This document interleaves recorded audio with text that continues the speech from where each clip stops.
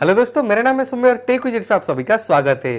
दोस्तों Samsung Galaxy M10 and M20 के बाद अभी कंपनी प्लान करे एक और नया स्मार्टफ़ोन को लॉन्च करने के लिए इंडियन मार्केट में सैमसंग गैलेक्सी M30 नाम करके।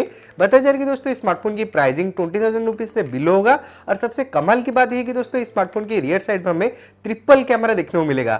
डेफिनेटली दोस्तों, एक सैमसंग का फ़ोन के अंदर हमें बजट सेगमेंट में ट्रिपल कैमरा मिलेगा तो एक बहुत कमाल की बात है। साथ में दोस्तों, इस स्मार्टफ़ोन के बारे में और भी बहुत सारी इन्फॉर्मेशन आए स्मार्टफ़ोन के ऑफिशियल लॉन्च से पहले जिसके बारे में मैं इस वीडियो में आपको पूरी जानकारी देने वाला हूँ। सो गाइज़ लेट्स बिगिन दोस्तों Samsung Galaxy M10 and M20 के बाद सैमसंग का एक नया चेहरा अभी सामने आया है इंडियन मार्केट में। क्योंकि दोस्तों Samsung Galaxy M10 and M20 budget segment में बहुत अच्छे स्पेसिफिकेशन के साथ आते हैं, जो कि दोस्तों साउमी एंड Realme के साथ अभी कंपीट कर रहे हैं। बहुत अच्छा डिवाइस है। अभी दोस्तों Samsung Galaxy M10 and M20 के बाद कंपनी प्लान कर रहे हैं एक नया डिवाइस को लॉन्च करने के लिए सैमसंग गैलेक्सी M30 नाम करके। और रिपोर्ट के हिसाब से बताया जा रहा है कि ये smartphone triple layer camera feature के साथ आने वाले वो भी बजट सेगमेंट में। तो डेफिनेटली दोस्तों, ये स्मार्टफ़ोन काफ़ी कमाल का होगा। और स्पेसिफिकेशन वाइज भी स्मार्टफ़ोन एक डिसेंट डिवाइस है। सबसे पहले दोस्तों, अगर हम स्मार्टफ़ोन की स्पेस की बात करें तो हमें स्मार्टफ़ोन के अंदर देखने को मिलेगा 6.3 इंचेस की फुल एचडी प्लस वाला आईपीएस एलसीडी डिस्प्ले जहाँ पे हमें एक water drop like notch design देखने को मिलेगा। बिल्कुल सैमसंग गैलेक्सी एम की तरह।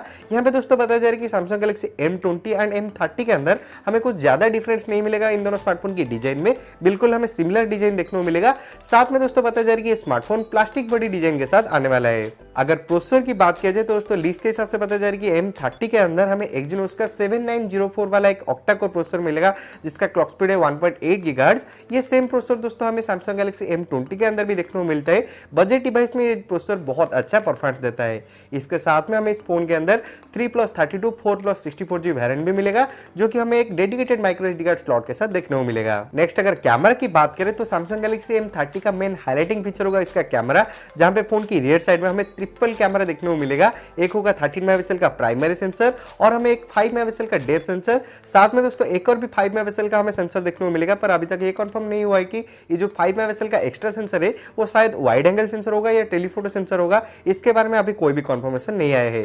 साथ में दोस्तों फ़ोन की फ्रंट साइड में हमें एक सिक्सटीन मेगापिक्सल का सेल्फी कैमरा भी देखने को मिलेगा। तो डेफिनेटली दोस्तों in terms of camera Galaxy M एक अच्छा डिवाइस होने वाला है।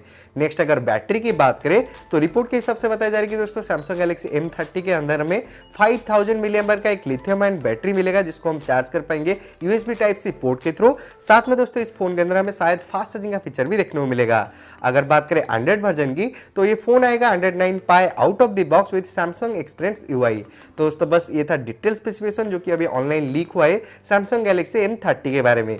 नेक्स्ट दोस्तों, आते हैं स्मार्टफ़ोन की प्राइसिंग की तरफ़। अभी तक दोस्तों, कोई भी कॉन्फर्म न्यूज़ या लीक्स नहीं आए सैमसंग गैलेक्सी एम की प्राइसिंग के बारे में, पर र्यूमर्स के हिसाब से बताया जा रहा है कि दोस्तों, ये स्मार्टफ़ोन की प्राइसिंग ट्वेंटी थाउज़ेंड रुपीज़ से बिलो होगा। तो डेफिनेटली मुझे लगता है स्मार्टफ़ोन की जो हायर वेरियंट होगा, यानी कि four GB RAM plus sixty four GB variant शायद दोस्तों इसका pricing nineteen thousand nine hundred ninety nine rupees के अराउंड हो सकता है। इसके बारे में आपका क्या कहना है, मुझे ज़रूर बताना नीचे कमेंट सेक्शन में। नेक्स्ट अगर दोस्तों लॉन्च डेट की बात करें तो अभी रिपोर्ट के हिसाब से बताया जा रहा है कि दोस्तों ये स्मार्टफ़ोन फेब्रुवरी एंड से पहले इंडियन मार्केट में लॉन्च हो सकता है। पर अभी तक दोस्तों कोई भी कॉन्फर्म लॉन्च डेट सामने निकल के नहीं आया है। जैसे ही दोस्तों आगे स्मार्टफ़ोन की Indian launch date and pricing के बारे में कोई भी इंफॉर्मेशन कोई भी न्यूज़ आते हैं, मैं सबसे पहले ट्राई करूँगा आपको इस चैनल को ऊपर अपडेट करने के लिए। उसके लिए दोस्तों, आप हमारे चैनल को सब्सक्राइब करने के साथ साथ प्लीज़ बेल आइकन को भी प्रेस कर देना ताकि आपको लेटेस्ट वीडियोज़ का नोटिफिकेशन मिलता रहे। बस दोस्तों ये था हमारे पास डिटेल इन्फॉर्मेशन सैमसंग के अपकमिंग स्मार्टफ़ोन गैलेक्सी एम के बारे में। मेरे हिसाब से दोस्तों, ये डिवाइस एक बहुत अच्छा डिवाइस होने वाला है। अगर इस स्मार्टफ़ोन की प्राइसिंग बजट सेगमेंट के अंदर रहता है इंडियन मार्केट में तो डेफिनेटली स्मार्टफ़ोन काफ़ी पॉपुलर होगा। अभी बहुत जल्द रेडमी नोट सेवन भी आने वाला है। तो मेरे हिसाब से सैमसंग को यहाँ पे बजट सेगमेंट के अंदर इस स्मार्टफ़ोन की प्राइसिंग रखना चाहिए, क्योंकि अभी रेडमी नोट सेवन के अंदर हमें बहुत कमल का फीचर्स मिलता है प्राइस के हिसाब से, और भी बहुत सारे स्मार्टफ़ोन आगे आने वाले हैं मोटोला का मोटो जी सेवन प्लस पे आएगा। तो देखते हैं दोस्तों सैमसंग स्मार्टफ़ोन की प्राइसिंग आगे क्या रखता है। इसमें दोस्तों आपके लिए छोटा सा सवाल है कि आपको क्या लगता है सैमसंग गैलेक्सी एम की प्राइसिंग के बारे में, मुझे ज़रूर बताना नीचे कॉमेंट सेक्शन में। बस दोस्तों, ये था कंप्लीट वीडियो अगर ये वीडियो आपके लिए हेल्पफुल और इन्फॉर्मेटिव लगाओ प्लीज़ दोस्तों इस वीडियो को लाइक करना और शेयर करना अपने दोस्तों के साथ। अगर आपके मन में कोई भी सवाल या कोई भी सैमसंग गैलेक्सी एम या फिर किसी और टॉपिक के बारे में आप फ्रीली नीचे कमेंट करना, मैं आपका रिप्लाई ज़रूर दूँगा। और लास्ट में दोस्तों, ऐसे ही लेटेस्ट टेक्नोलॉजी रिलेटेड वीडियोज़ के लिए आप हमारे चैनल को सब्सक्राइब करने के साथ साथ बेल आइकन को भी प्रेस कर देना। जय हिंद।